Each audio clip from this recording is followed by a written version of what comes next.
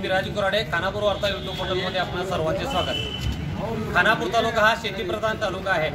खानापूर तालुक्यामध्ये भात पीक ऊस पीक अशी दोन महत्वाची पिकं पिकवली जातात. तालुक्यामध्ये उत्पादित होणाऱ्या या भात पिकाला योग्य हमी भाव मिळत असल्या कारणानं शेतकरी कंगालो चाललेला आहे. भाताला दोन हजार चाळीस आणि उत्तम भाताला दोन हजार साठ असा आधारभूत किंमत दिली आहे परंतु ही दर देखील तोकडी आहे. सध्या परिस्थितीमध्ये बाजारपेठेमध्ये एकवीसशे ते एकवीसशे पन्नास रुपये भाताला दर दिला जात आहे. मात्र याच्यामध्ये काटेमारी मोठ्या प्रमाणात आहे. त्याला केंद्र व राज्य सरकारने याची दखल घेऊन सध्या जो आधारभूत किंमत आहे या आधारभूत किंमतीवर किमान तीनशे रुपये अधिक क्विंटल मागे दर देऊन केंद्राने किमान पंचवीसशे रुपये दर द्यावा अशी मागणी शेतकऱ्यांची आहे. यासाठी खानापूर तालुक्यातील काही शेतकऱ्यांनी आज तहसीलदार कचेरीला एक निवेदन दिलं आणि या निवेदनादरम्यान नंदगड या ठिकाणी एपीएमसी मध्ये भाग भात खरेदी विक्री केंद्र सुरू करावेत व किमान पंचवीसशे रुपये आधारभूत किंमत द्यावी अशी मागणी या शेतकऱ्यांनी केली आहे. त्याचं मनोगत या ठिकाणी आपण घेणार आहोत. खाना समस्त खानापूर तालुक्या शेतकऱ्यांच्या वतीनं मी इथं सांगू इच्छितो की गेल्या चार वर्षापासून Nandgad A P M C market भात विक्री केंद्र बंद आहे आणि हे बंद असल्यामुळे शेतकऱ्यांची फार मोठ्या प्रमाणात लूट केली जाते.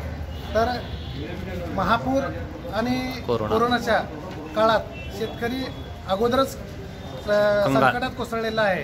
आणि हे असं असताना सुद्धा भात विक्री केंद्र सुरू न केल्यामुळे शेतकऱ्यांचं फार मोठे हाल होत आहेत.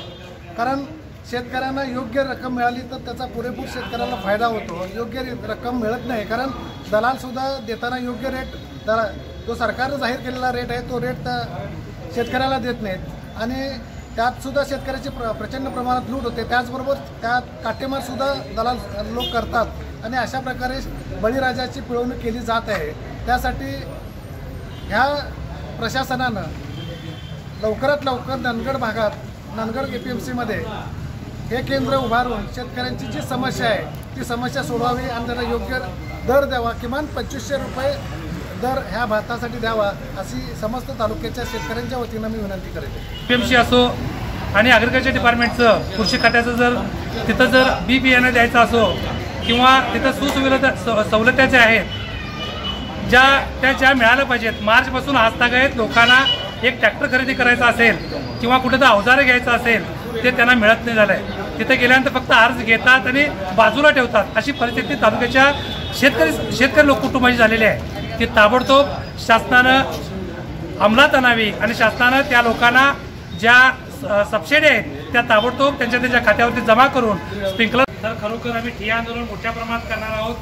सगळ्या तालुक्यातील शेतकरी कुटुंबांना सगळ्यांना एकत्र बोलून कारण आता परिस्थिती अशी झालेली आहे की शेतकऱ्यानं भात पिकवलेला आहे. मात्र भात घेण्याची पद्धत जी दलाल लोकांनी जी सुरू केलेली आहे ती चुकीची आहे. आणि इथं जवळपास खानापूर तालुक्याला लागून हल्ल्यामध्ये एपीएमसी केंद्र पूर्ण चु- मोठ्या प्रमाणात चालू आहे आणि या नंदगडमध्ये चालू नाही. जवळपास तिथं सतरा ते अठरा एकर जमीन एपीएमसीच्या छायेखाली येते. मात्र त्याचा उपयोग होत नाही सदुपयोग होत नाही. त्याची दखल तहसीलदार साहेबांनी घ्यावी इतकंच मी तुम्हाला निवेदनाद्वारे कळवत शकतो